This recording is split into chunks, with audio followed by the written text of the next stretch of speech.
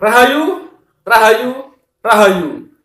Ketemu lagi dengan saya, Tadi Wahyono, di channel tempat mengenal keris dan pusaka Nusantara lainnya dengan akal sehat dan hati terbuka.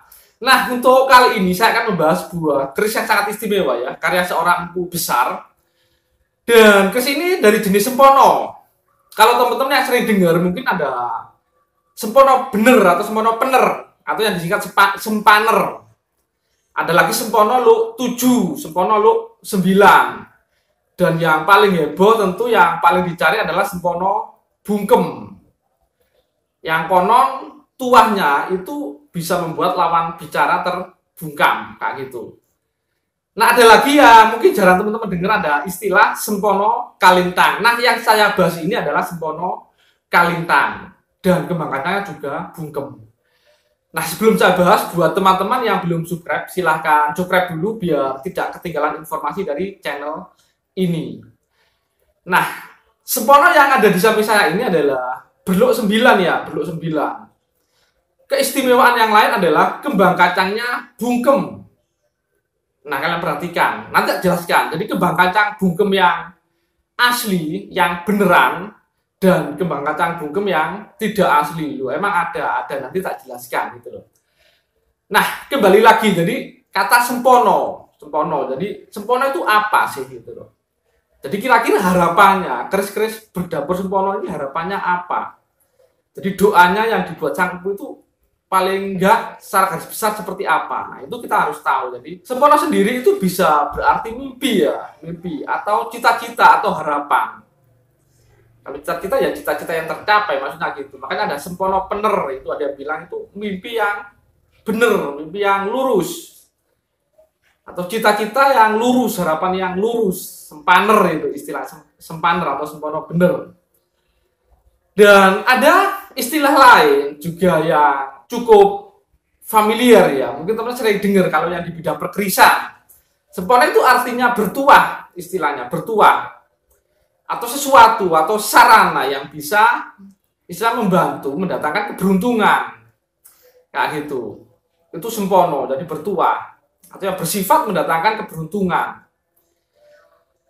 Nah sempono bungkem itu memang biasanya itu dicari oleh orang-orang berprofesi seperti kayak hakim, pengacara, jaksa, atau bidang profesi lain yang istilah banyak ngomongnya berbicara atau sering menghadapi lawannya dalam hal istilahnya berdiskusi ya seperti itu atau berdebat ya gitu. Karena konon sempono bungkem ini ini tuahnya itu bisa membungkam lawan bicaranya kayak gitu. Makanya ini memang banyak dicari terutama pejabat gitu ya agar omongannya bisa didengarkan atau enggak enggak bisa dibantah. Itu pegangannya adalah sempono bungkem Nah, saya bahas ini, ini adalah masuk jenis sempono bungkem juga ya.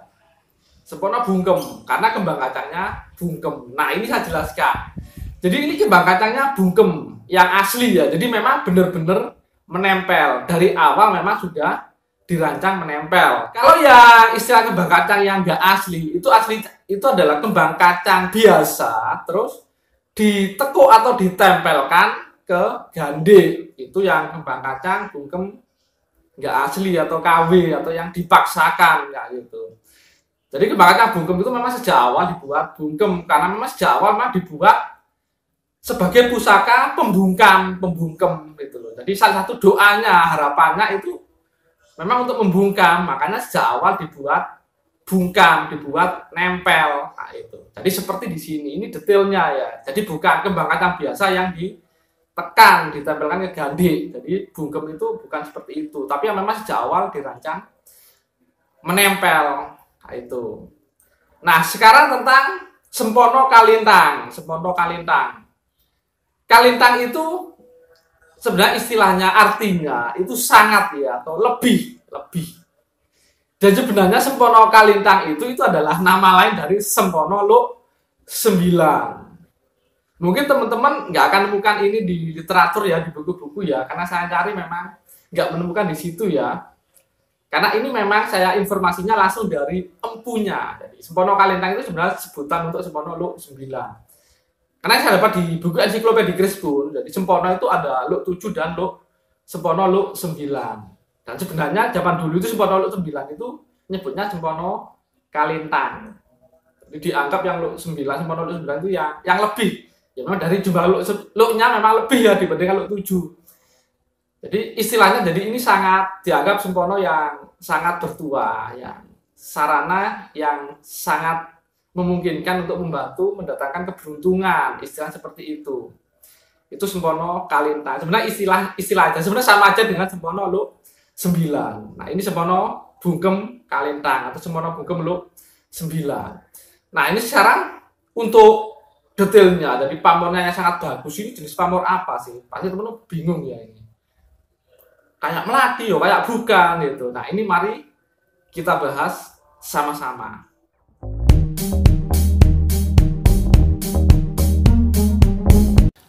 Nah, ini adalah detail dari keris sempono luk 9 ya, atau sempono kalintang. Jadi ini kembang kacangnya bungkem ya. Jadi sempono bungkem luk 9 atau sempono bungkem kalintang. Nah, itu di bagian gonjonya ada pamor winih ya, ada pamor berupa bulatan-bulatan. Dan ini seperti kalau pamor secara kecil ada yang kecil-kecil, bulat kecil kayak miji timun ya. Cuma ini ada yang agak besar dan agak renggang dan di baliknya ini jadi bulatan juga agak besar juga jadi lebih ke melati jadi ini pamornya memang ada kayak kulit semongko pamor melati dan ada miji timunnya ya walaupun enggak istilahnya enggak semuanya miji timun. Nah ini adalah bagian sor-soran ya itu kembang kacangnya kalau teman-teman perhatikan itu kembang kacang bungkem yang benar seperti itu ya. Jadi itu benar-benar nempel di gandek.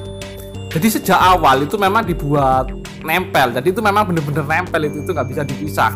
Jadi memang dirancang nempel. Nah itu kebak kacang bungkem ya dan itu untuk penataan pamor maupun garap detail recikannya itu terlihat sangat bagus ya. Kalau teman perhatikan. Nah jadi ini bagian cor-corannya. Nah ini adalah bentuk keseluruhan ya. Jadi yang sangat indah dari sempono kalintang dengan kembang kacang bungkem. Nah, keris yang luar biasa tadi itu baik dari penataan pambor maupun rancang baru itu adalah satu karya dari Empu Haryo Herlamba. Jadi besar dari daerah Jawa Timur ya, Empu era Kapagika yang saat ini pun masih terus berkarya. Dan yang memesan pusaka ini adalah salah seorang pecinta tosan aji dari Indonesia daerah timur ya, agak ke timur. Tepatnya Lombok, dari daerah Lombok di Mas Lalu ya kalau nggak salah yang pesan ini adalah Mas Lalu jadi terima kasih ya Mas Lalu jadi diizinkan jadi ini kita pakai untuk pembelajaran buat teman-teman kayak gitu dan mungkin itu aja informasi dari saya. Semoga bermanfaat dan jangan lupa like dan subscribe nya